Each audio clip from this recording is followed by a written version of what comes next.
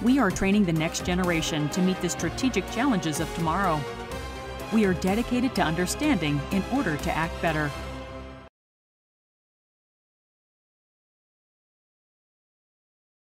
Hello, everyone. I'm Renée Filiatrault. I'll be your moderator for this panel. Um, the panel is called Leveraging International Cooperation and Canada's Strategic Assets. Leveraging International Cooperation and Canada's Strategic Assets. Um, and we have an excellent uh, group of people here to talk about that. You've already, you know, seen one of them here today, Kerry Buck. Stephanie did a great job um, introducing her this morning, but I think it's worth repeating some of the things that she's done. In addition to being Canada's ambassador to NATO from 2015 to 2018 and a career diplomat, she was also the lead of several task forces. And um, just to name a few, uh, Russia, Ukraine, task force for Syria, Mali, the Haiti earthquake, and tons of other humanitarian crises. She was also the, the uh, head of the task force for Afghanistan while I was with Task Force Kandahar in Kandahar. So technically, she, well, in actuality, she was my boss. So I'm going to try and not pull my punches. I was talking to somebody earlier who said, Oh, are you in charge of the next panel? And I said, No, I think Kerry Buck, my old boss, is in charge of the next panel. So I'll do my best not to pull my punches. Uh, in addition to Kerry, we have with us um, Sarah Myriam Martin Brûlé. C'est ça? Elegant. Um, She's professor at Bishop University and fe- fellow non resident at the International Peace Initiative in New York. Uh, Institute, rather. Her research focuses on peace operations. She's our UN specialist in a nutshell. And finally, we have uh, Theo. Um, and uh, Theo uh, is going to be uh, talking about um, international security, civil wars, armed forces. In that context, uh, he's an a, he's an associate professor at the Department of Political Science at Université de Montréal, and we're very happy to have him as well. Um, and with that, I think uh, all the and we're going to start with a few words from everybody. Is that okay? Sarah Myriam, you can start. Well, first of all, thank you for the invitation. It's great to meet once again in person after the conference in December, and uh, we are here, and I'm really happy. We're mentioning our different networks and obviously our colleagues and friends that are in the room. It's uh, great to have my uh, bishop delegation with me today. So, students who were working on their bachelor's degree in the last few years. So, we have John Roux, who was uh, there in 2007, 2017. He's on his PhD in Ottawa. We have Barth, Martha, who's at Global Affairs. Uh, Zachary, Lily, Matthew, who are, are uh, working on their masters right now. So, our vocation is to train the next generation and uh, promote their desire to continue their education uh, on areas of focus of the network. So it's great to meet online and obviously in person also. Theo, a quick introduction. Is that it? Yeah, just general comments on uh, on the discussion regarding uh, leveraging. Okay, so do you want my my five minute commentary? Yeah, exactly. Okay, okay. I'm sorry. So, um, bon. Um, so uh, I was asked on this panel you know, to talk about um, Canadian status as a middle power and uh, and and how to gain a little more influence in the world in which we have to work in uh, a multilateral context. And so a few observations that uh, I'd like to make. And uh, I want to talk about a couple of different ways of gaining influence uh, and about one in particular. Um, as we've we've seen a lot today, uh, a, critical tool for gaining influence is, is doing stuff that our partners and allies want us to do and trying to make a contribution for multilateral efforts. We heard a great deal about that this morning um, from Kerry and from Roland Paris. I think it's, it's an extremely important tool. But I think um, beyond that, the, the, second tool that I, that I think I, would really like to emphasize and um, uh, and and and try to make clear is the importance for influence of defining what we want and trying to go for it. Um, that's to say that our own policy coherence, which is the theme of, of the next panel, um, and is sort of the theme of the, the entire conference, um, is not only something important to have uh, in order to to to, to uh, for coherence itself and try to achieve the goals that we set out for ourselves, but it's also a pretty cool, pretty important uh, tool of of influence as well. Um, there is the risk when we don't have uh, relatively uh, set out priorities that we define for ourselves and attempt to pursue uh, in a concerted fashion of um, having relatively scattered policy, uh, of having of uh, going off in, in a bunch of different directions that we don't wind up following through upon, um, and of uh, a drift towards a situation in which the contributions that we make to multilateral initiatives take the form of a token contribution um, that uh, that again we we don't uh, we really see through the end, um, or uh, or eventually to uh, talking in a way that suggests that we want to make a contribution to multilateral initiatives, uh, but not winding up doing so. Right. The, so the the vaunted return to peacekeeping is, for me, the example that uh, comes uh, most most clearly to mind as uh, as as um, as setting up a, a, a the as, as indicating sort of a policy in in, in need of, of, of greater direction. And uh, the when we define our interests really clearly, when we uh, define uh, what it is that we want and set out some resources in order to achieve them, I think this has some pretty important uh, uh, impacts for the influence that we can have on other actors.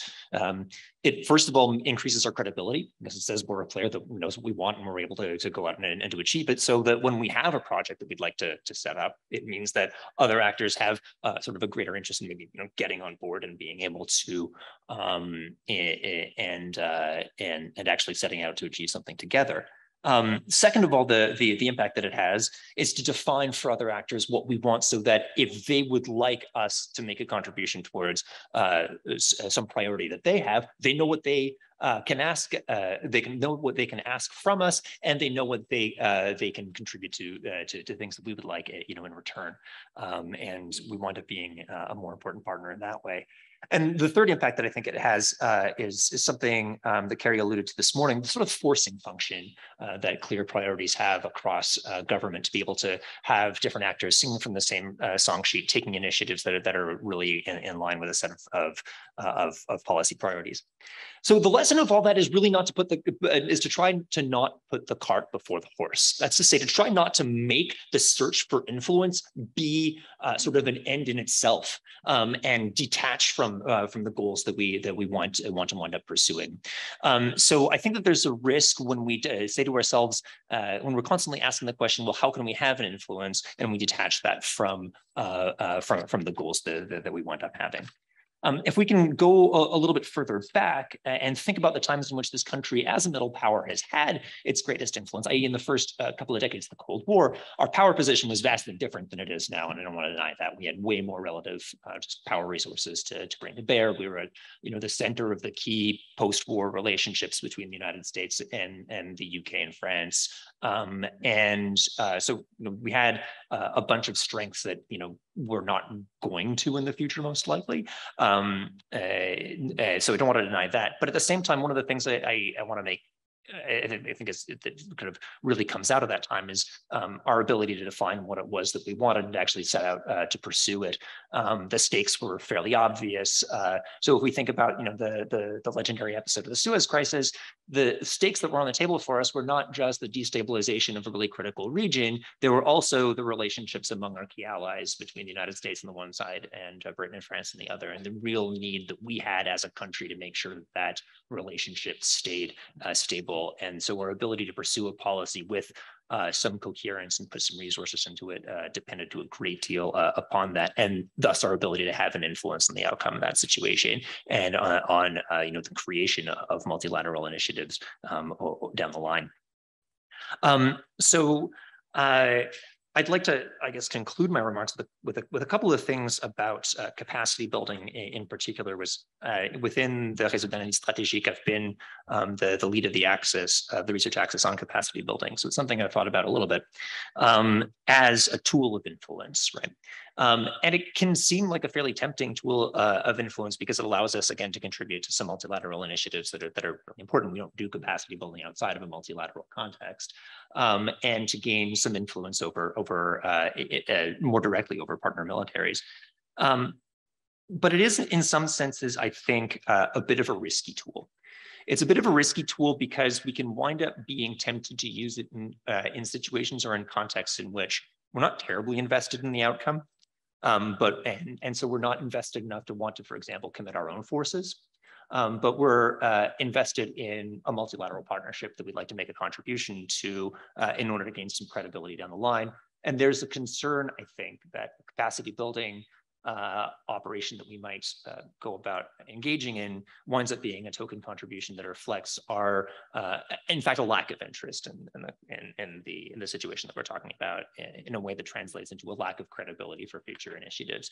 I think where it's worked, where there's a lot of potential for it to work really well is in a situation like Ukraine, where there's a, a very, very clear interest in that the Canada has in building the, the capacity of, of the Ukrainian forces. I think that's uh, fairly fairly clear, and I think it's fairly direct. I don't think that we necessarily need to use, for example, the uh, capacity building operation underway right now in the UK in order to gain more credibility within the alliance. We can if we'd like to, but there are reasons enough directly in building the capacity of the Ukrainian forces uh, for us to commit and for us to commit uh, um, more than we're doing um, and uh, the, the, the temptation to uh, wind up seeing capacity building something that we do in order to gain credibility with allies is, is there. And I think that we need to be, be leery of it. And when we pursue it in order to achieve a certain outcome, because we have a fairly clear stake in the um, conflict or in the scenario in which we're going about capacity building,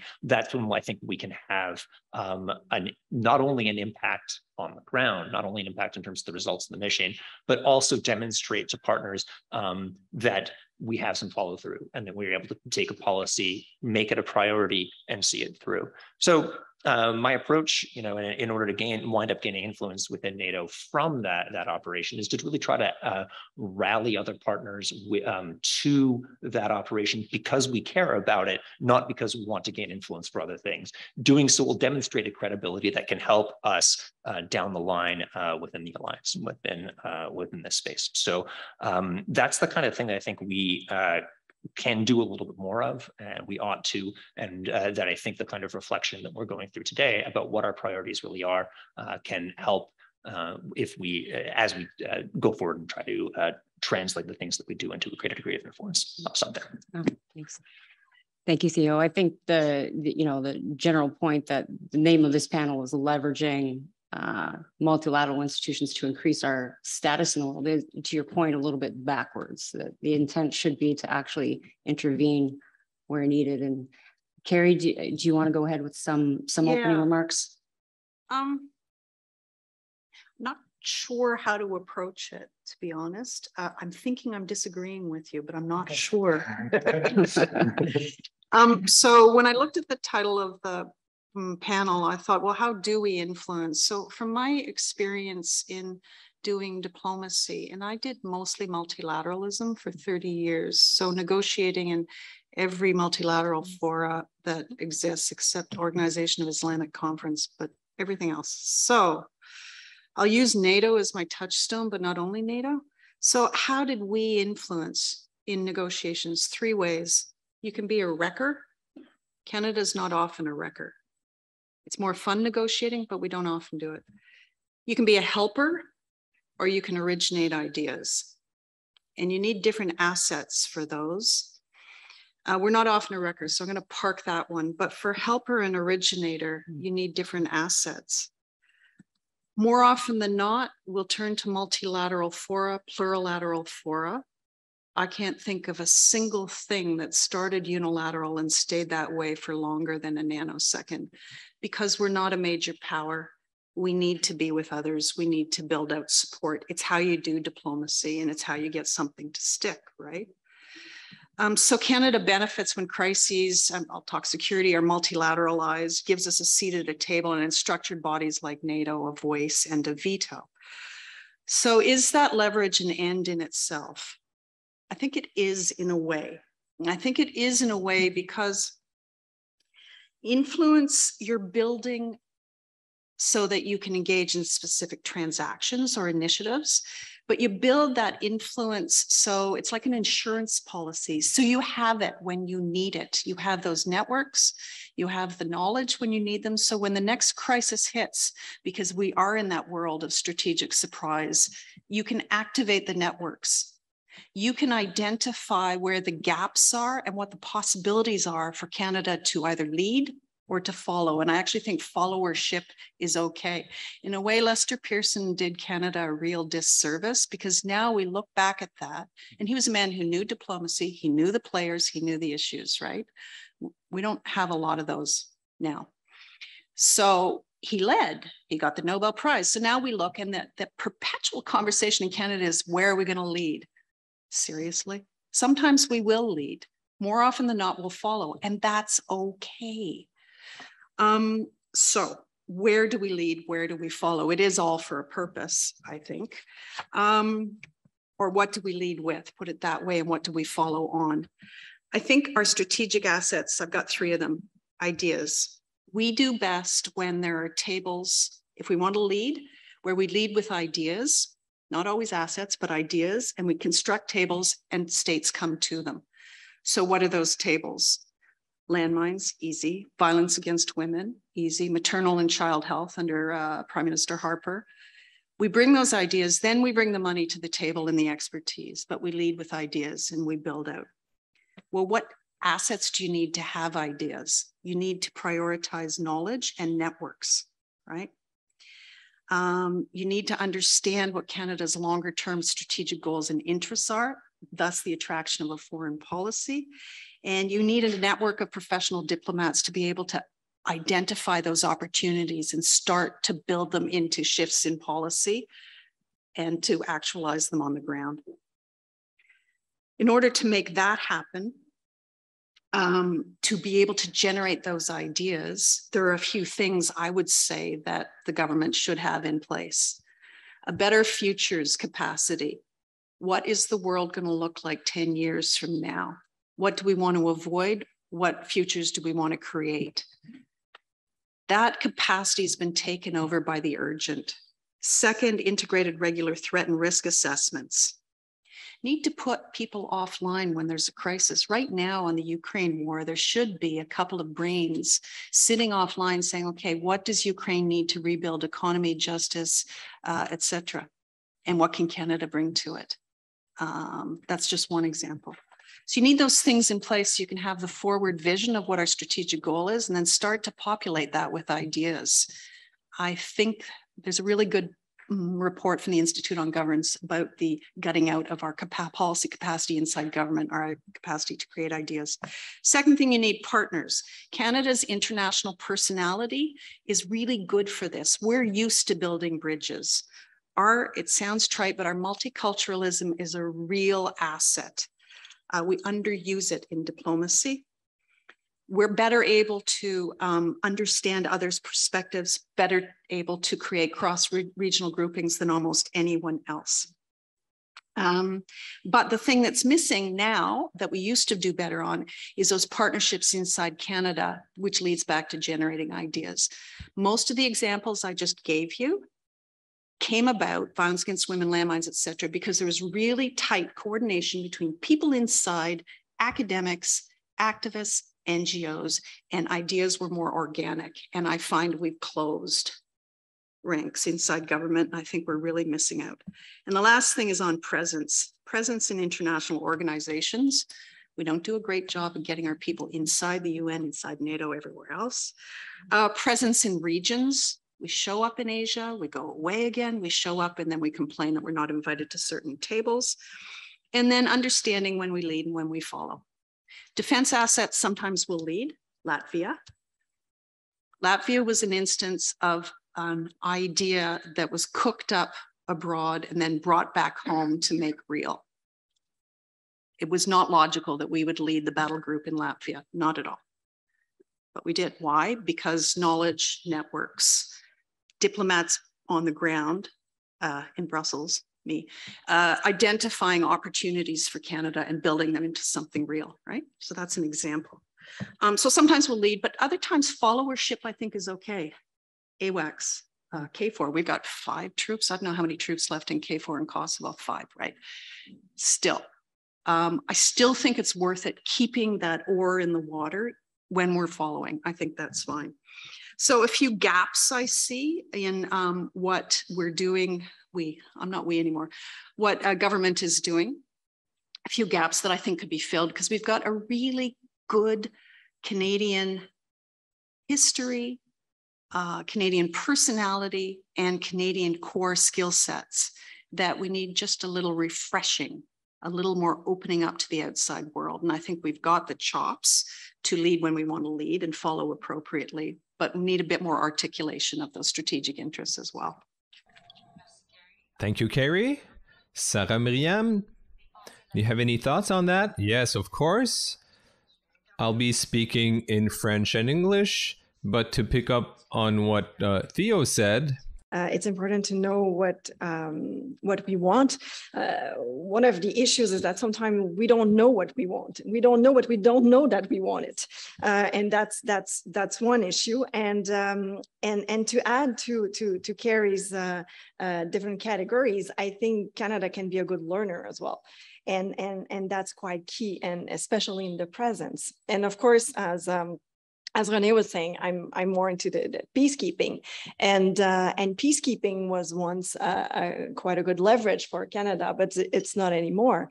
And um, and as you know, uh, in 2016, the, the Canadian government pledged for a, a renewal, uh, a renewed role of Canada at the UN, and notably by re-engaging its uh, its peacekeeping activities and then following Canada's hosting of the International Peacekeeping Summit in Vancouver in November 2017, uh, the Trudeau government announced in March 2018 that Canada would re-engage in UN peacekeeping mission in Mali. Um, it lasted, as you know, unfortunately only a, a few months. And five years later, uh, of course, Canada's renewed role at the UN has remained timid at best. But Canada has much to offer, but more importantly, a lot to learn by engaging further at the UN and in peace operations more specifically. And Operation Presence uh, bore well its name because by being present, Canada can learn more. Canada can signal its engagement in burden sharing and also build new ties. We were talking about, Kerry was mentioning the importance of trust and network. Uh, it can reinforce, reinforce current ties, of course, but, uh, but building new ones. And of course, thereby honing its own understanding and its own capacities. Um, but right now, Canada is, is almost gone from peacekeeping. And I will refer to, um, to Dr. Walter Dorn's uh, website, excellent website, who's tracking the pledge uh, from the Canadian government from, uh, uh from his endpoint. And he highlights that as of 2022, uh, Canada's personal contribution to the UN peace operations is at a low record of 54 personal, 18 women, uh, 36 men, and the bulk of the deployment being in Mali with 15 personnel, 8 uh, male and 7 women, females. Uh, and he also details that police contribution reached the lowest point since 1992. So, what explains this lack of motivation, and why should Canada engage into UN peacekeeping? One image that I liked is uh, is viscosity, and viscosity by, by, might be one way to put it. And I draw this term from Daniel Drezner's excellent piece uh, The Viscosity of Global Governance. And, and Daniel Drezner explains the concept as follow, that in fluid mechanics, viscosity is the resistance a material has to change in its form. So high levels of viscosity imply a material that is slow to change. And in global governance, high levels of viscosity would mean a lots of internal friction, And I borrowed this term today to discuss how um, in Canada, there seems to be a viscosity which have prevented a country's return to peacekeeping as it was announced by the prime minister in 2016.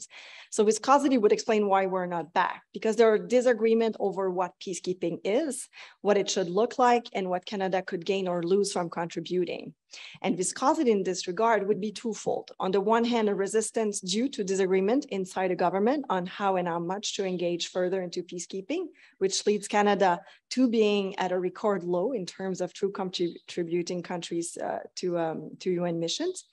And on the other hand, a viscosity which manifests in the rhetoric, a discourse in which these same debates and, uh, and dissension um, slows the adaptation to reality. So a resistance to change the perception and the discourse to match with the reality that Canada is not only not back, but it's indeed more absent than ever. So a viscosity of rhetoric that lead Canadians to still self-define or self-perceive as being as close to peacekeeping concept and reality.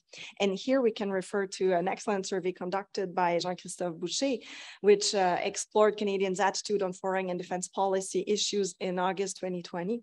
And in this survey showed that 74% of respondents were supportive of Canadian participation in peace missions, and that those who were in favor uh, were 55 years old and older, pointing to the fact that that younger generations were quite far less enthusiastic. So I'm summarizing. I'm sorry about all of the nuances of GC, but that's pretty much it. But yet Canada's engagement in UN peacekeeping mission is consistent with its interests, resources, and capacity. And, and then I, I will uh, refer to um, to a study we did with uh, uh, Stephanie, uh, in which uh, we both listed a series of reasons why Canada should be back in peacekeeping mission. And the first one being that, uh, well, peacekeeping missions work. We can discuss this, of course. I'm, I'm aware of some nuances if you look at what's happening in Mali, but but studies do show that peacekeeping works. So it's a, it's a successful enterprise. And of course, Canada presents unique characteristics and comparative advantages that we've been discussing since this morning in terms of languages, bilingual troops, gender, cultural awareness, technical, uh, technological contributions, capacity. Uh, we're no stranger to debates on burden sharing in the NATO context that was mentioned by Kerry. And, uh, and we're well positioned to address UN's uh, most pressing needs in the context of peace operations and indeed there are uh, uh, current gaps that are that are identified uh, that would be well needed. So, in terms of capacity, Canada can contribute with the technology, logistics, aerial support and there are great needs in that area. Uh, just this week, there's an article in Le Monde that revealed that UN mission agencies and humanitarian organizations were seeing their transport obstructed after planes and helicopters were banned from flying by civil aviation because of their Russian licenses. So, following san- sanctions against Russia, one of the measures of the civil aviation was to cancel contracts with uh, Russian clients. So Russia retrieved aircrafts, gave them uh, Russian registrations without complying with the criteria, criteria of the civil aviation. So since September 15th, uh, peacekeeping missions were instructed to stop loading Russian aircrafts till further notice. But Russian commercial fleet, under contract with the UN, represents 22% of the f- fleet.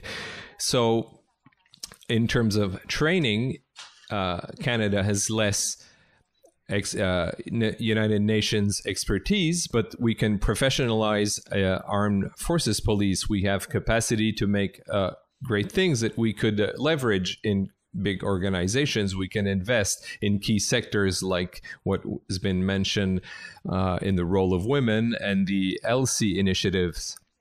But more importantly, I'd like to underline, and we talk about that less. Canada has much to learn from allies outside of NATO to work in a multinational environment, um, enabling it to hone its own practices and understanding of complex security envi environment as well. Um, by being present, uh, by having the opportunity to work with other member states uh, to uh, foster new ties, new trust as well, new partnership, Canada can learn uh, other priorities, other interests, uh, have a deeper understanding of different types of threats, but also different types of means to address those threats as well.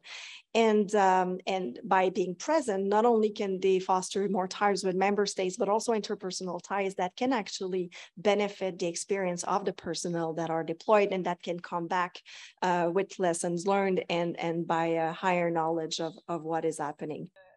so Canada has everything to win to to being involved, but uh, more in maintaining of peace because uh, the peace operations work, but for the process in itself to be present to participate in peace operations, being humble, we have a lot to learn, and of course by uh, improving our own practices on a national level. Thank you. A whole laundry list of things that we can do. It's to your point and and backed up by the study and virtually every every poll there is, it's on brand. Canadians expect it. Um, Theo, you mentioned, you know, uh, of course, the vaulted return to peacekeeping that didn't happen. I think uh, you mentioned the 2016 announcement that was actually announced three times. Uh, and in one of those announcements, and I think I can speak to this because it got picked up by Murray Brewster and Paul Wells without getting thrown in jail for saying it, but we were demarched on that, um, on, on saying that we would field the rapid reaction force that we never did. Uh, it got some press, but one could describe the attention and the response as a collective sigh of resignation. Um, Theo, how bad is that? When you look at our credibility eh, within multilateral institutions and the influence that we are saying we want to to hold um, and yet we we hear these these ter- these numbers that that don't speak to actually doing what we say we're going to do to the point where we're being demarched and at this point nobody even really being surprised by that. Yeah i, I think that's a big problem. I, I, don't want to exaggerate it because there were contributions that we made. You know, I think the provision of C-17 of a you know the C-17 and the the flight hours to the French operation Mali was I, something as as Jean-Christophe mentioned this morning, um, and as as Kerry's mentioned as well. You know, gained us uh did we did france as solid and we can ex- we can hope to expect something in return so i don't i don't want to go too far you know um i think that the I guess what where I think it's important to kind of res resolve it down to is um, let's not talk as though we're going to do a bunch of stuff that we're not actually going to do. And if what we can contribute is the offer of C-17s, great. I think you know that can be something that you know if if that's a, a measure that we're really really willing to stick through uh, and to and to and to offer and to uh, and to contribute. Um, I, I then I think that we can gain some influence from doing so, have an effect, and uh, help to advance some important foreign policy goals. It's uh, it's just that we need to be pretty clear about how important the operation is for us, both directly and bo- and in terms of um, the the partners that we're engaging with and attempting to help, uh, what their uh, needs are and what we're willing to provide. Um, and if uh, our words run well past what we uh, are actually willing to do in terms of a, of a clear understanding of, uh, of our interests, both directly and with regards to uh, contributing to a broader uh, multilateral effort. Um, I think that there's a risk of a loss of credibility that allows uh, partners to start to say, when we propose something, you know, when we start to, talking, to talk a big game out about other issues, that allows partners to wonder, does Canada really mean it? Or is this another thing along the lines of the return to peacekeeping? How seriously should we take it? And uh, how much should we actually get involved? So I think that there's some, uh, it, it's, um, it's really the risk of our words running uh, running uh, sort of well past what we what we're actually willing to contribute that I think uh, causes some problems for us. Kerry, thoughts?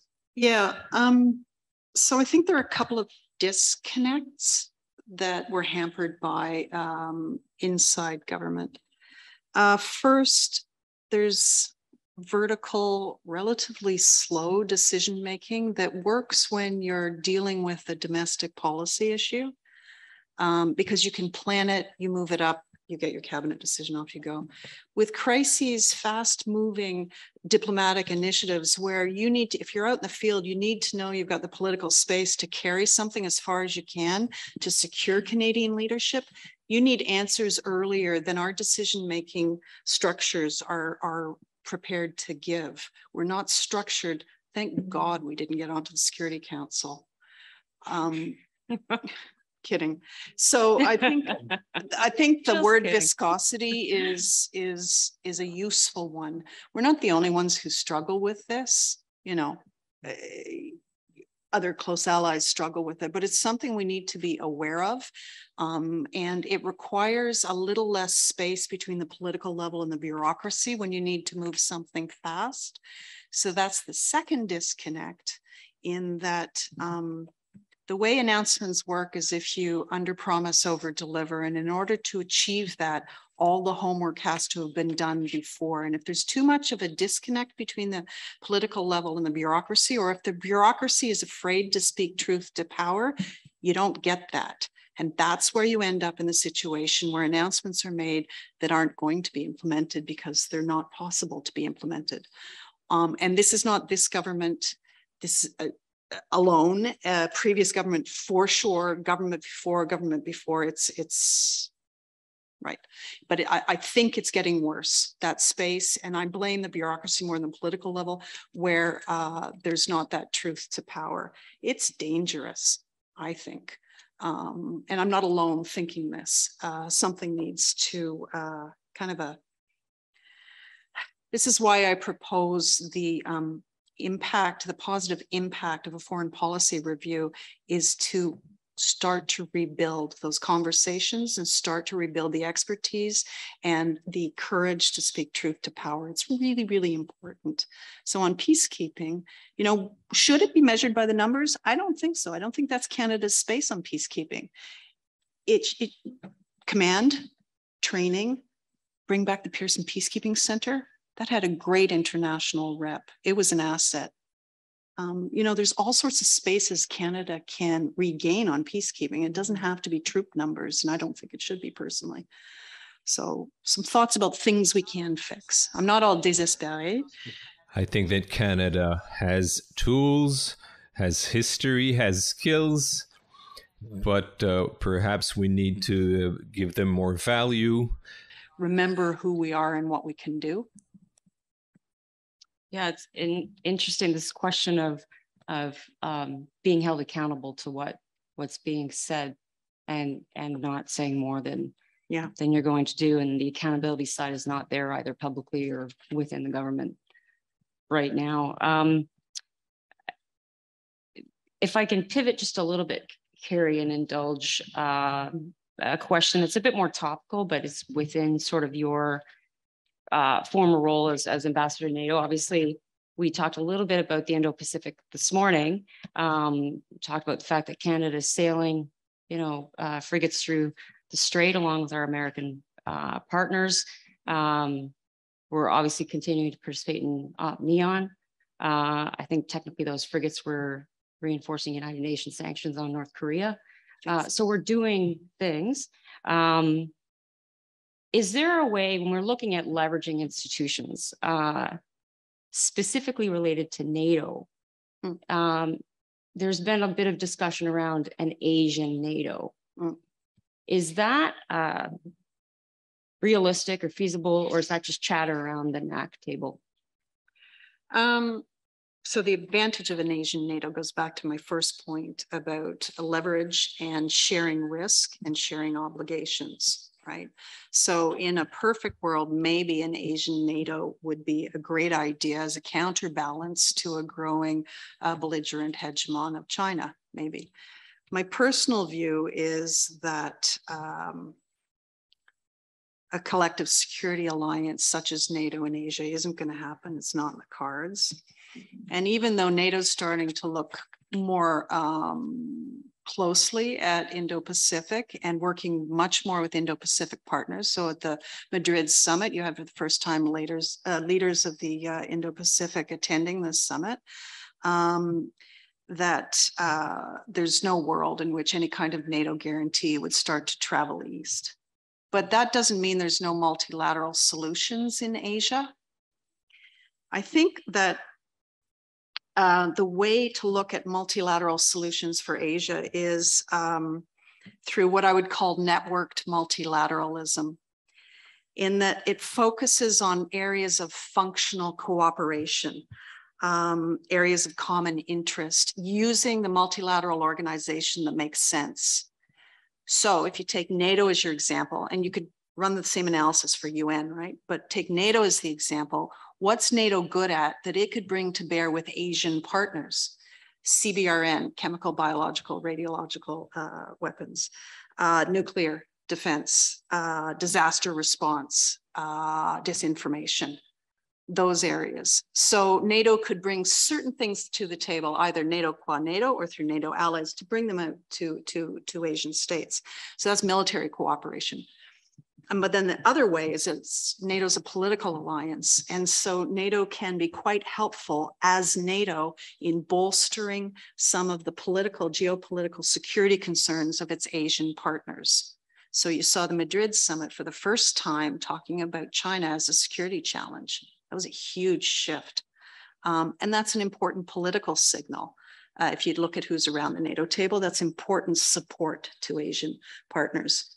So that kind of networked multilateralism, you choose the forum, you choose the job that suits your security interests. It's kind of the way I was describing how Canada approaches multilateralism too, a bit functional, um, but with an overall goal in mind. And, and going back a little bit to military diplomacy and military muscle backing up the political endgame. Yeah. Yeah. But here it's not like a military muscle security guarantee, it's something else, but it's Yeah. still there. Yeah. One final question on NATO. Can't sort of walk away from this conference and not mention Finland and Sweden and what they might bring to the table. Earlier this morning, somebody mentioned the concept, I think it was the Major General of Physical Security. Hmm. And last week, off the record, and a Swedish official received the question that, you know, what are you bringing to NATO? Would you, for example, participate in forward presence? Uh, and uh, this official's response was, we're pretty forward present already. So, so it's that question of geography still matters and physical security Yeah. and territorial integrity is, is pretty key. So that, uh, you know, and then maybe they're not necessarily coming in, obviously with, they're not coming in with weak militaries. They seem to be doing well in the exercises. Um, what are your thoughts on what Finland and Sweden can bring to the table? Oh, it's a huge gain for, for NATO, in my opinion. So operationally, um, they have a few assets. They've been um, participating in NATO operations and NATO training for a number of years. Um, their forces are at a higher level of capability than a lot of the allies. Um, so they're bringing that, but they're also bringing, particularly, you know, Finland, but they're bringing a mobilized population that has a security awareness and a security understanding. And I'm not just talking reserves, but a whole of country approach to security that's really, really interesting and that we can learn a lot from. Um, high North capacity um, and uh, high North expeditionary mission Mm. capacity too. So quite useful. We can work with them. Um, strategic assets, Intel, um, they know Russia very, very well not just because of their borders, but you know, both Finland and Norway, for instance, they have embedded in bilateral agreements with Russia. They have multiple layers of cooperation and multiple points of contact. And so while Vladimir Putin is doing something that's absolutely abhor- abhorrent and sanctions are on against Russia, Russia will be there in Europe um, for a long time to come. And there is an after Putin at some point. And so those countries that come into the alliance that know Russia so well and have so many points of contact, absolutely invaluable. And then on effectiveness of troops, their troops are effective, very effective, but they understand that you need a whole of um, population, which means women should be in your military, gender approach to everything that NATO does. And they've been stalwart allies of ours on that forever. So it helps with the political weight of NATO. There's, there's, I, I don't see a downside at all. the Swedish official kind of threw out a number um, that I, you know, I, I think it's worthy of a fact check that one percent of all Swedish uh, fighting age uh, men and women have served in some capacity in a in a uh, peacekeeping mission. So the per capita numbers might be low, but Mm. uh, over time, Sweden certainly has done its part on that on that front.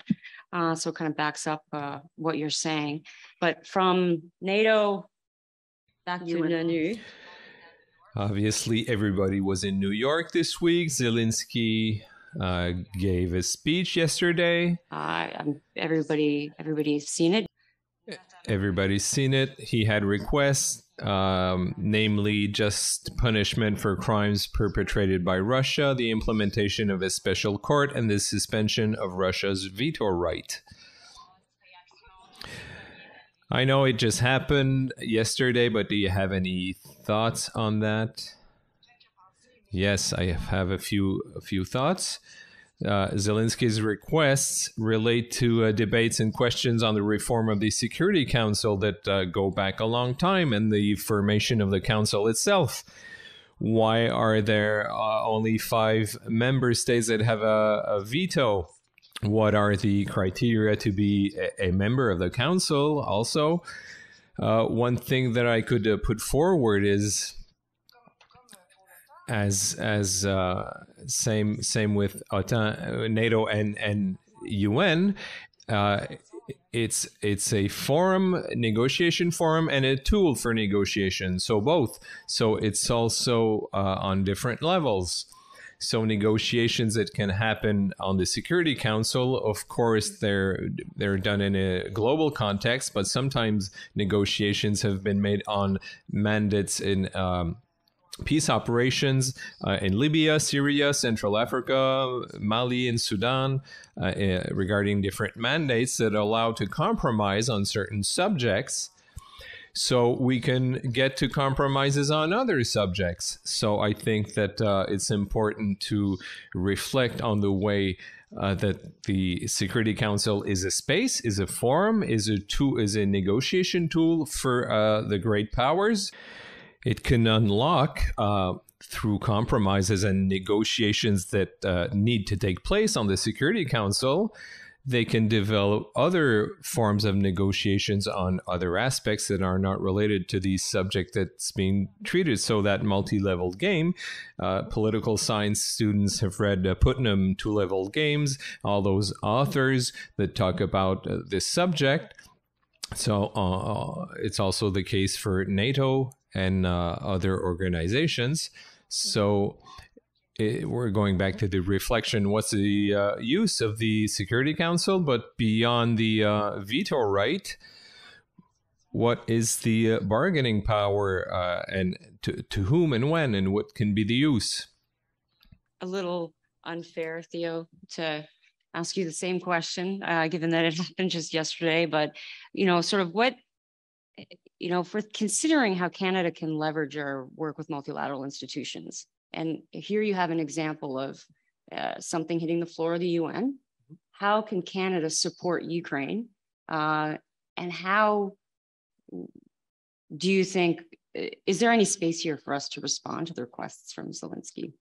Uh, Keeping in mind what Sarah obviously said about. I mean, um, I don't think that there's not, I don't think there's a lot we can do to respond to Zelensky's specific requests about UN reform, given the difficulty that we have had in having our own role to play mm. at the UN and the UN Security Council. Uh, put it this way, it's a, it's not uh, a forum in which we, we um, it does not seem to be a forum in which we've had a, a great run of success recently. Um, at the same time, um, you know, I I think that when we are being relatively clear about the ways in which we are helping out Ukraine, you know, in order to try to and to to bring uh, back to the forefront uh, the UN Charter principle of um, non-aggression, right, and on the end of uh, you know the, the the idea that strong countries aren't really allowed under rules-based international order, as Roland Paris said this morning, to attack weaker ones, and the ways in which we are trying to help Ukraine resist. Um, a thing that I think that uh, um, uh, that, the, the stuff that we are doing uh, in order to try to help the Ukrainians resist is probably the most important uh, kinds of things that we can be doing right now.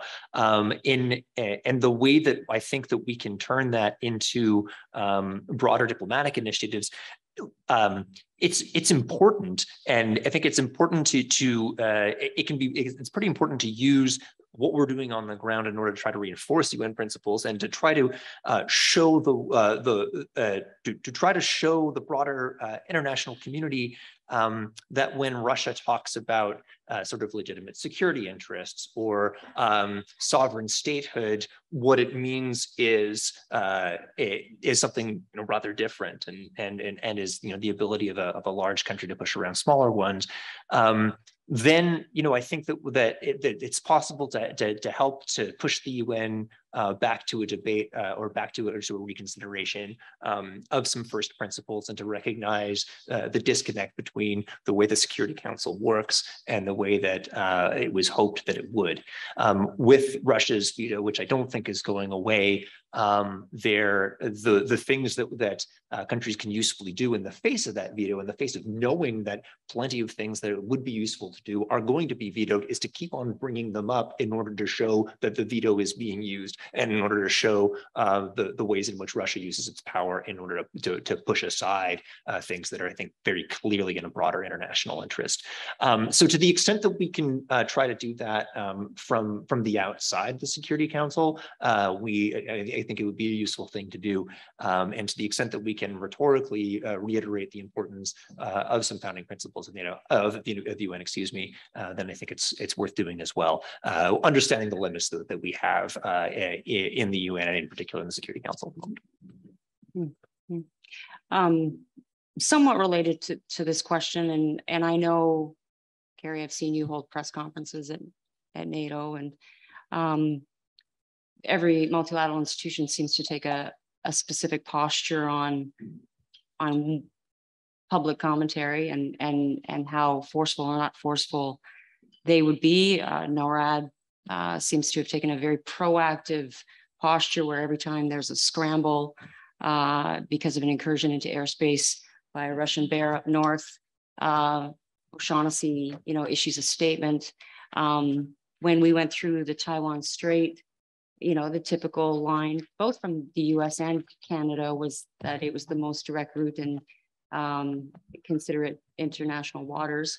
Um, what are your thoughts on how important it is to not only do what you say you're going to do, but then when you actually do something to say it um, and say it clearly. Uh, and does that does that have an effect um, to the extent that saber rattling might also be a risk? Uh, anybody, I guess, thoughts on that? Yeah. Um, so international organizations are different from states when they make the calculation whether they're going to engage in quiet diplomacy, so do stuff and don't talk about it, versus um, leadership, do stuff and talk about it. Both, both are kinds of leadership. I don't know what to call that second one. And it's a really both tactical and strategic choice that is made when you do that. So at the beginning, the UN Sec Gen was not as visible. And I don't know what the tactical calculus was around that. Um, but it kind of made sense to me when the focus of conversation was on a military response and supporting Ukraine on that military front, because the UN can't do much. But when it came to dealing with migrant outflows and food support and food security and some on energy, he was more visible. And maybe that makes sense. Then inside the UN, you were using, we were all using different parts of the UN to do different things to counter what was happening in uh, Ukraine and to support Ukraine. So when the Security Council couldn't function, uh, and Zelensky called it out, um, the UN General Assembly could step in. And why is it useful? Because there's a real risk, I think, with this war that it turns into the West and the rest. And that's not a good space to be in for any of those issues the military issue, the energy issue, the food security issue. It's not a good space. So the UN is actually really, really helpful to expand the community that will criticize right? So do public, uh, not quiet diplomacy, a lot of that's going on, but more public leadership inside the UN. It's very useful to build that support out. Um, Stoltenberg, of course, occupied, Stoltenberg, the Sec Gen of NATO, occupied more of the beginning space, right? Right after the war started. What were his messages at the time? Support for Ukraine, but also we're not going in to start World War III. And that was a very helpful information space. Where there was more quiet diplomacy going on was all of the allies giving weaponry to Ukraine. There's OPSEC reasons for not talking about it. Also a number of the countries, they weren't sure whether their populations were in that space of sending massive weaponry into Ukraine before the atrocities came out and then perhaps public sentiment might have shifted upwards. But think about if you're a German leader with their Ostpolitik at the beginning, it probably would have been a difficult political space to be in to go out and say, well, we're sending this and that and that and deliver a whole list of heavy, heavy uh, weaponry. I don't know. So you saw a mix of different actors doing public diplomacy, not public diplomacy, being quite visible in their leadership at different stages of the conflict on different issues, and then quiet diplomacy behind the scenes. So from a kind of parsing out what diplomacy was happening, it's it's pretty interesting case study that someone should do about where multilateralism was used, where bilateralism and plurilateral fora were used, mm. and for what. Any thoughts on that, Theo? Yeah, is there any, uh, do we have any questions? I think we're sort of at question period time. If anybody has any questions yet. Want to go down here?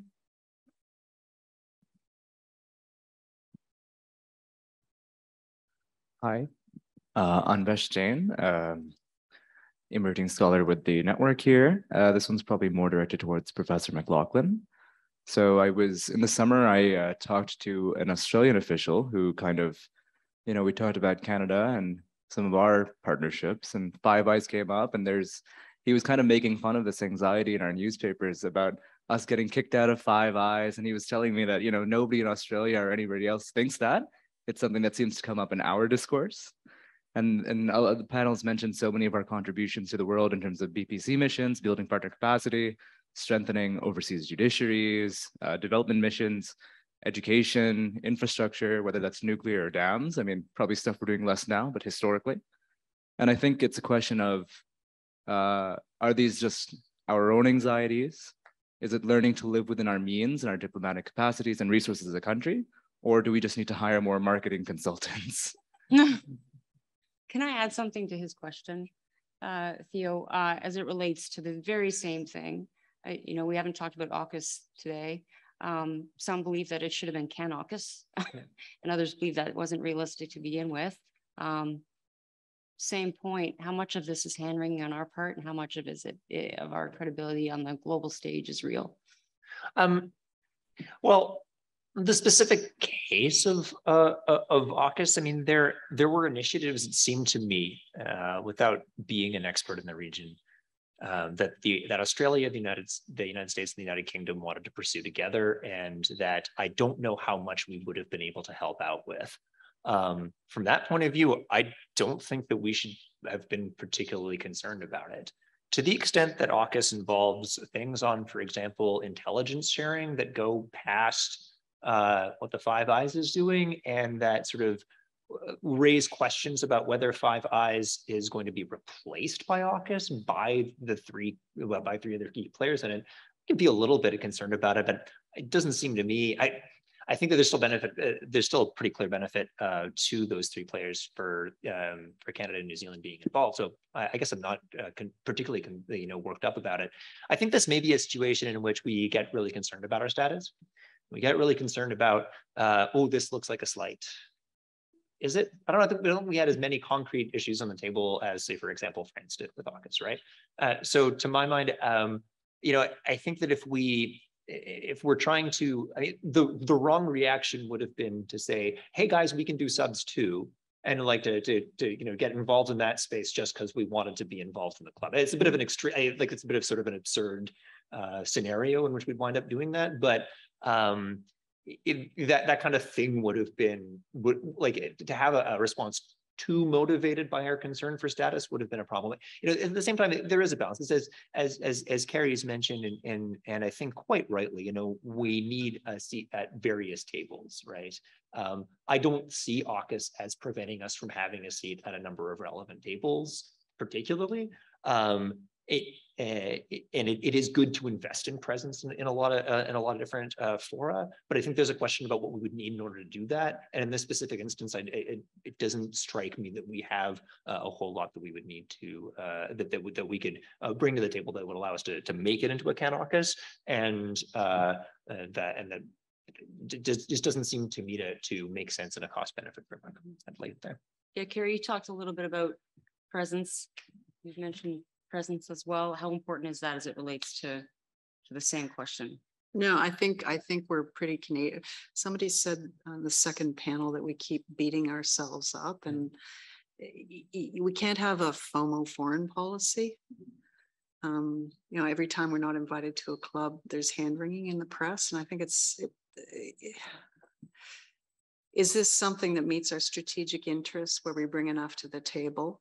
Uh, Where it means enough for us to invest? Sure, but otherwise, so I, I was not fussed when I saw it. And I actually didn't see a lot of hand wringing from inside government. I saw it more in the media. Mhm, mhm. And, and I think France probably took a lot of the air to the media. Yeah. As well. And they did have more interests and they'd been Yeah. through a rockier time on those issues. So, uh, yeah. Um, do we have any other questions? Any looking to see the online person? Where are they? No. Uh, oh, right, right here. Did you have a question? Nope, sorry, didn't mean to scare you. Right here, Stephanie. Thank you. Really interesting uh, discussion and very different angles that you're all bringing to the table. So I like the complementarity between the panelists and I, you know, I am privy to some of the questions that were circulating in the preparation to this panel. So there's a, a few things I'm still wondering about. And since uh, the door has been opened with AUKUS and several mentions of the Indo-Pacific, I think I you know, I'd just like to pick your brains because one of the areas where we struggled, and Sarah Myriam uh, and Theo will notice, because we discussed several drafts of the report we discussed this morning during, you know, monthly meetings, and and one area that was particularly difficult, two areas were particularly difficult: how to represent Canadian ambitions within the UN and peacekeeping, and uh, we had a bilateral exchange uh, with Myriam on how best to represent that and how much space to dedicate to that in the report.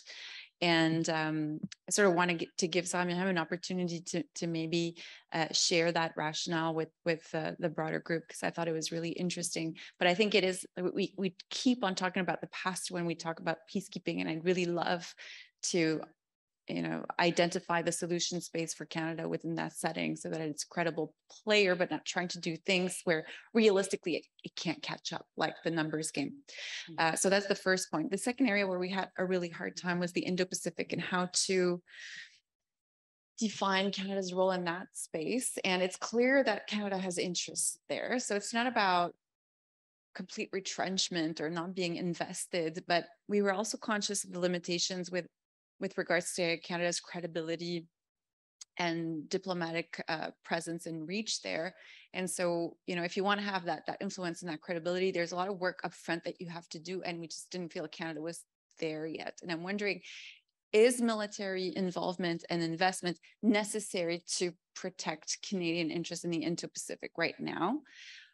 Can and can we also say maybe that's that space is covered by by our allies. There's south korea japan the united states australia new zealand like they are credible credible and present players there.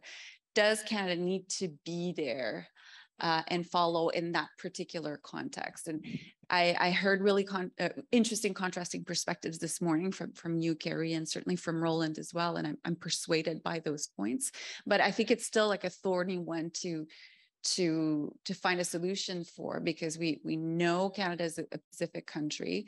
We know a certain level of investment is needed, but is it going to be through military means or can alternative strategies secure, protect those same interests as that um, regional space continues to evolve very rapidly?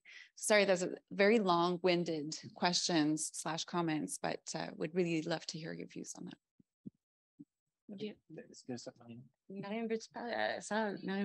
Do you want to talk about uh, the question of UN? Yes, in, in, the, in the report, there's, we don't we do not mention the UN a lot because we didn't reach a consensus, and I want to pick up on uh, on the question of of numbers. I agree with Kerry and Theo that it's not a question of numbers, and for many reasons. I mentioned uh, we have very few troops, 54. That's not a lot. But if we uh, go back to the point that was made this morning, the importance of logistics or uh, disconnects, we cannot have many more. We don't have the critical mass to send uh, tr- troops to the UN, so that's not our strength to send people like in the 90s to send a lot of troops, but rather, and I'm picking up on what uh, Kerry, uh, we should have niche contributions uh, uh, within our specialties to what, what we can offer. Uh, I thinking about uh, Zachary.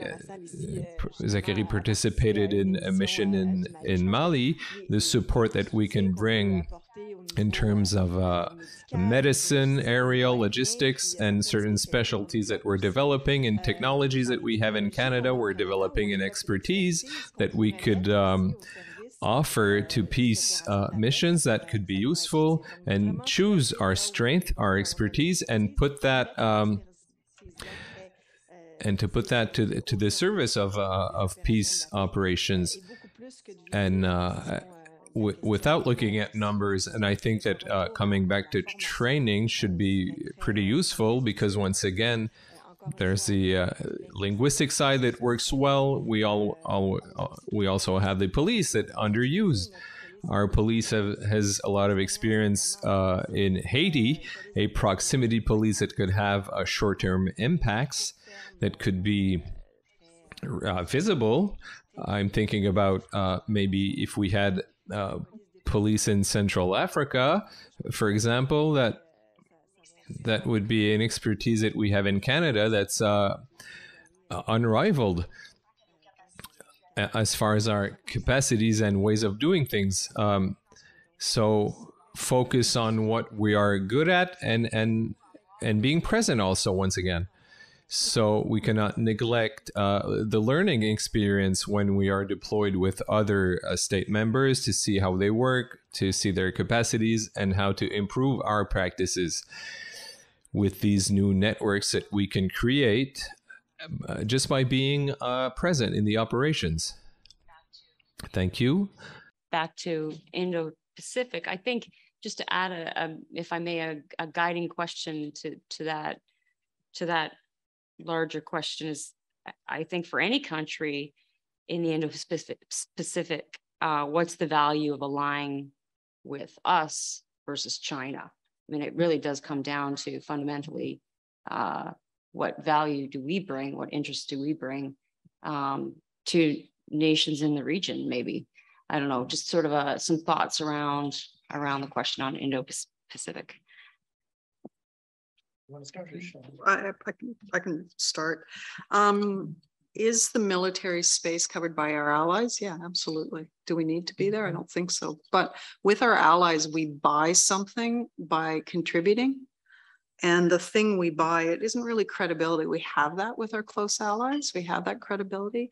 It's a capacity to influence the direction some initiative will take. And it's also visibility. We're part of that effort to counter uh, belligerence, um, to deter belligerence, that kind of thing. So, so it's giving us something, um, but I'm not ever arguing for us to be there in a big way necessarily, not in the current conditions, but to be there militarily in a way that goes beyond humanitarian assistance for sure. Mm. But in order for that to be effective, we have to have a more continuous and a bit more activist diplomatic presence. And I think we've been a bit one foot in, one foot out, one foot back in, one foot back out, including at the ministerial level when you look at some of the major fora. So um, over the years, and again, it's not, it's the past at least two governments um, so I'm not I'm not making a point about current. It applies to previous as well. Uh, so I think it needs a little more consistency on the diplomatic front and probably a bit more presence. And we have assets to capitalize on. We've got a long-standing relationship with South Korea, for instance, that dates back to the war, and there's a lot of appreciation. And we kind of occupy a similar diplomatic space as South Korea, you could see doing more on that front. And we have not perhaps invested as much in that relationship as we could. Japan, we sit with at the G7. So we've got, we've got, and we've got diaspora too. So we've got these kind of ins mm. that we can capitalize a bit more on. Mm. Um, so I, yeah, we don't have to lead. That's a question of clear followership, but I do think it's military deployments as diplomacy is what we're talking about.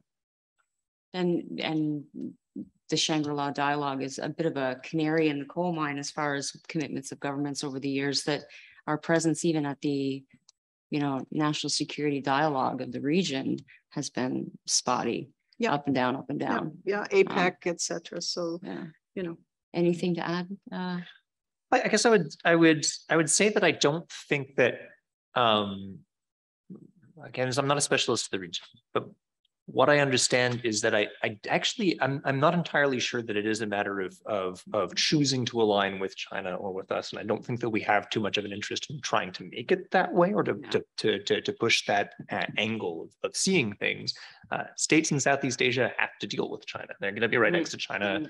uh, for a very, very, very long time and would prefer not to have to choose, I don't think. I think that's been the, the approach of ASEAN, uh, for example, and um, I don't think that we, that, that our approach should be trying, it should be competitive in the sense of saying like, here's what we bring to the table and China doesn't. Um, but here's what we're trying to con- contribute in order to uh, maintain uh, a, a a Pacific in both senses of the term status quo, right? Like a, like a, like a relatively, you know, like a, a, a situation where, you know, we're, we, we've got a, you know, we've got a relatively uh, peaceful uh, region and, and what we're trying to do to help maintain that. Um, at the same time as pursuing some fairly, you know, uh, clear interests as, as, as we said in, in, in maintaining, um, you know, maritime transit and the free and open Indo-Pacific.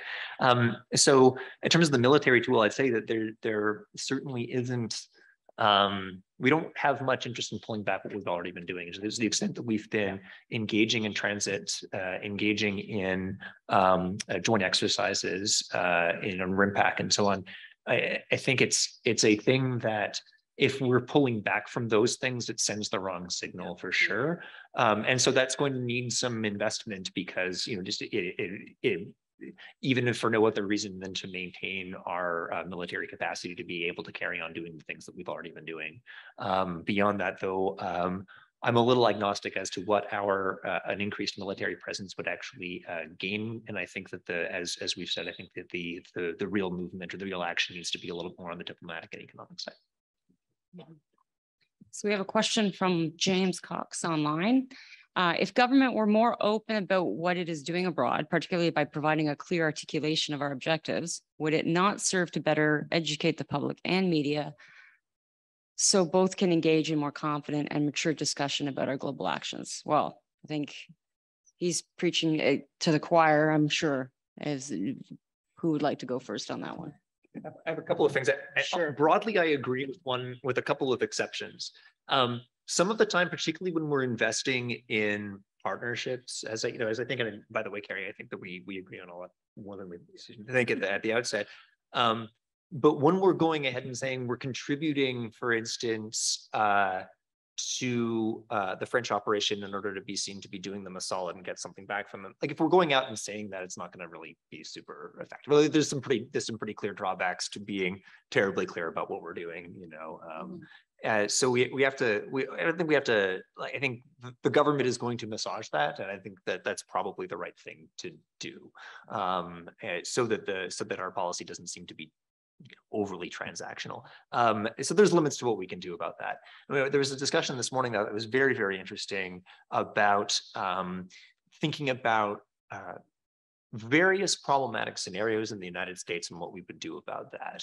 Uh, Mhm. I think that we should be engaging in that kind of thinking, and I also would agree that the that uh, that the if the government of Canada is too clear that that's what we're doing, then we're going to, or that that that that that, that overly clear messaging can be a bit of a problem uh, when it comes to dealing with some really really sensitive uh, issues about the future. Um, at the same time as I think we owe it to ourselves to plan for a situation in which the United States really pulls back on its leadership, for example, or stuff really hits the fan uh, politically uh, to the south of us. So I think we have to be preparing for it, and I also think that it's important to uh, to think that we have to. Um, that we have to be very cautious about how we talk about that, how about how about how the government talks about that public. I say we, I'm not part of the government, so um, they can decide what they're going to do about it. Um, I'm going to carry on thinking about it uh, myself and be pretty open about it, but uh, I would understand if the government didn't want to uh, do it itself. Um, beyond those exceptions, I do think it would be nice to be a lot clearer about what it is that we mean to to achieve, uh, and to and and for the government to to have a, a much clearer articulation of its priorities, and to be willing to not talk about certain things as priorities when they are not. Um, so as to not sort of create confusion about the foreign policy that it's attempting to pursue. And mindful, of course, of the brilliant comment somebody made earlier about tone deafness. The key is in a lot of ways communicating it in the right way that respects the audience that you know Canadians are wise and um, governments underestimate that at their risk I think um, can I make one absolutely. parochial mean comment too? Um, we have to be careful not to do foreign policy by announceable. Yeah. Mm. right? So you announce money for something? Great. Why? What are you achieving? Why are you doing it? What's the goal? It's a, in a way, it's a, that's, that's why I'm pumping for foreign policy review. I actually don't think it'll change much in terms of our priorities, but it will at least set out those high level objectives. And then that's the high level objective against which you can measure the specific initiative that, you know, you have to leave space for specific initiatives to, to be created and move quickly and for Canada to have that space for diplomatic creativity. Mm-hmm. So you should never have a foreign policy review that articulates we're going to have, you know, 75 peacekeepers and this and that. You need those higher level objectives, um, not the tactics, but the mm-hmm. higher level objectives articulated. And then that becomes the framework against which you measure, measure success, um, not the money that's going out the door. I think it relates to, uh, to the, the discussion we had this morning uh, when Stephanie was mentioning uh, the rhetoric. And uh, I think there's something about um, in the questions uh, if government were more open about what it is doing abroad, there's the way we talk about what we're doing abroad and what we are doing abroad. Mm-hmm. and uh, and that's uh, that's politics for sure. And uh, and these are these so serve different purposes as well. The way we talk about what we do and and what we do. Mm, so to your, gap. to your point one purpose i mean the uk um, and others have taken a very proactive stance on inoculating against misinformation by communicating proactively to an uh, to an unprecedented level about uh, in some cases intelligence in some cases operational matters never putting at risk those things but but ultimately we're seeing that uk mod report every day. It, it's sort of connected to what you were saying theo. Do you see is it feasible that canada could similarly inoculate against mis and disinformation. Mm-hmm. um, to the to the you know to the the questioner's point that to educate the media educate the public we need to get our narrative in there. Um, otherwise the vacuum will be filled. And it's been by all accounts very successful on the uk's side. Does canada have the capacity or even the delegated authority for communicators to do that I would add one thing, which is I think it's not only been useful or been effective on the UK side, but I thought the, the US side was was just terrific in the run up to the war. I, I thought it was so effective. Um, I was really impressed. I wasn't sure quite sure what they were doing at first, to be honest. Mm. I wasn't sure whether it really made a whole lot of sense. Uh, but then as the invasion, like when the when the United States was warning about the invasion, yeah, it's going to happen, it's going to happen, and then when it did, and I thought, oh well, you know, they they prepared us pretty well and they managed to defuse a whole lot of lines of, of information that were coming from misinformation that were coming from Russia um, at the time. Whether we can do that is a, a question internal to government. We know all about like the very, very long process that it takes to fire off a tweet. Um, and, and, and depending on, I mean, some government of Canada Twitter accounts can be much better than others. Um, but uh, but you know that that's more of an internal process to which I really can't speak whether we have the flexibility. But I do think it's a it's a potentially interesting tool if we can manage to do it. Well, we have to think whose intel it is too. I mean, it's good for us to be in Five Eyes, but um, we have very limited foreign intelligence collection capacities. And so there would be fewer instances where, at least about international crises, we would own something that we could then legitimately use without coordinating with allies or Five Eyes. That being said, we could maybe do a bit more communicating in line with UK US um, about these things. Um, that might be, and that would be a, a, kind of comms intel move that I could see a lot of space for. Um, I think the bigger question for us is around internal communication. So not about uh, international crises, but internal communication to counter disinformation. And there are initiatives inside government that are led on the civilian front. And I think some deep analysis needs to be undertaken about what the CAF does and does not do on countering disinformation. I see no role for the CAF internally in Canada on that front. Um, uh, but it's worth a conversation about what the space and the role is for the military in that conversation and for the security folks. Right now, it's led mostly out of the very, very civilian non-security parts of the government, which I think is correct. Mm -hmm. But um, there are many more players and I think a serious policy conversation, it's likely underway. I've left government now, mm -hmm. but uh, needs to take place. Can I just add to that conversation? Mm -hmm. You mentioned that OT by UK mm -hmm. and CFINTCOM actually puts up yeah. similar to that, yeah. which I find yeah. it's not very well received or taken on by very many people. So uh, I think we do have a tendency to follow the lead of, of other countries, uh, but at the same time, our media and um, analysts have a tendency to look elsewhere than what we are putting out. Mm -hmm. um, but at the same time, as an communicator with the federal government, it is extraordinary to put those things out um, in a timely fashion. So there is possibly an issue as it relates to the timeliness of that. So you're a communicator in government? Yeah. Well, thank you for your service keep trying to get it out. If nobody tells you that, it's very appreciated. Yeah, I follow it. yeah. Excellent. That's great. Um, I, I feel your pain on the approval process. Uh, yeah, we have actually. Hello. now I recognize you. You just never know when you've seen somebody in a JSAT or something. And um, any other questions? I think we're coming up to the to the last. There's one. from Oh, here we have on another that. one. Uh, can we really Oh, the second- craft? Oh, sorry. Oh, is there another one? Oh, right here. Oh, Yeah, yeah, yeah. oh, here we go. I think I'm gonna make it very quick because I know that it's it's been a while. Um, but thank you so much for your for your expert opinions. It's such eye-opening for you know a lot of me as a student who is still continuously learning about Canada's uh, international cooperation dynamics. So it's been very informative for me, especially to listen to the experts on this issue as well. And I, I sort of catch from this panel that there's a sort of an overarching discussion about for Canada to re-identify itself on the international stage, right? Um, be it whether to refashion its old identity or to find a new one, finding the way back. Um, and I hear Ambassador Buck uh, mentioning, you know, it, uh, sometimes Canada can lead and sometimes it's okay for Canada to follow.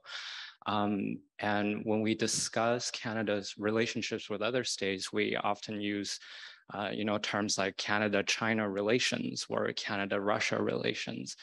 And in these kind of discourse, I wonder if when we follow, how do we still make sure that we have a clear understanding of who we are as a follower and how what are the kind of existing initiatives maybe something that can help us end the panel in a hopeful note on well, maybe what is something that's being done within Canada that's, you know, we think is a good idea. It should be supported to help Canada to better define itself and better define its interest.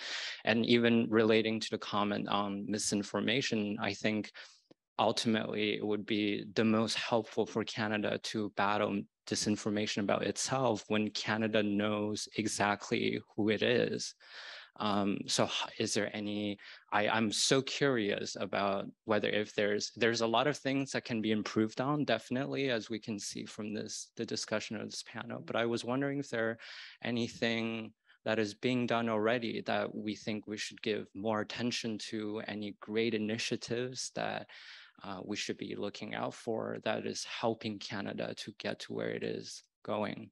Wow. I So- hope I'm not wasting any of this. No, I think you've just encapsulated that the only way to fight propaganda is not with propaganda, but with the truth, really, and what we're doing. Um, I mean, we've just had somebody say that that uh, they're trying to push out what we're doing, and it's incredibly difficult. I mean, to the panelists, your thoughts on that on that question? You've just asked the hardest question of the day, so. Yeah. And it is a great one, but it comes back to who we are as a nation and how we define ourselves. And so I was, I always thought that part of our uh, challenge is that we define ourselves by who we aren't. Right? We define Canadian identity by who we aren't. And um, but over the last few years, we've started to define ourselves by who we are. Uh, part of that comes from the current government. So that's focus on Canada being a place of tolerance and a place of diversity. And if you depoliticize or departisanize that language, I think that's actually a really helpful direction that we've gone in as a nation. So when I look at our foreign policy, I try not to be a golden ager saying we used to have it better and now we're not doing as well. Fact is, the world's harder for us to do it as well now. So it's an external driver that makes it harder for us to articulate. But I do think if we take those ideas that uh, we are actually a reason, reasonable country, peaceable, tolerant, and functioning, I mean, compared to some of our neighbors to the south, for instance, we're actually doing a pretty good job. And if you can take that and translate that into our foreign policy priorities and help us decide where we're leading and where we're following, I think you'll end up with a good product. In order to do that, we have to collapse that whole distinction we used to have between values and interests, which became partisan in a way, like mushy add-on values that are interests that don't really meet our hardcore security interests. It never actually, we never implemented our foreign policy in practice that way. There were value-laden uh, initiatives under Prime Minister Harper maternal and child health, even don't uh, go along to get along. That's a value laden statement, right? And there were hard interest decisions made that weren't mushy human security values, blah, blah, under the previous government. So we've never actually lived that divide between values and interests. I think we need to bridge it. The UK's done that in their foreign policy reviews. So I think there's a space to recraft our foreign policy, but we need a conscious decision to do it. Just as we took that decision to stand on our own two feet post World War II, we're at a hinge point in history right now where we've got an opportunity to remake it as a Canadian foreign policy that then will help us decide where we follow, where we lead. Won't won't prescribe it, but at least give us that, you know what it is? It's rebuilding that sense of pride in us internationally. We should have it. We deserve to have that sense of pride, but we're a bit too Canadian, you know, self-flagellation. We need to, which is why I'm you know, proposing that kind of more robust, comprehensive, integrated review. Well, that's an excellent optimistic note to end on. Thank you, Ambassador Buck. And thank you, uh, Sarah Myriam Theo. Uh, fascinating discussion and uh, apologies to the one final question online that we didn't, we couldn't get to in time, but uh, but there's still plenty of afternoon left. So thank you very much. Thank you.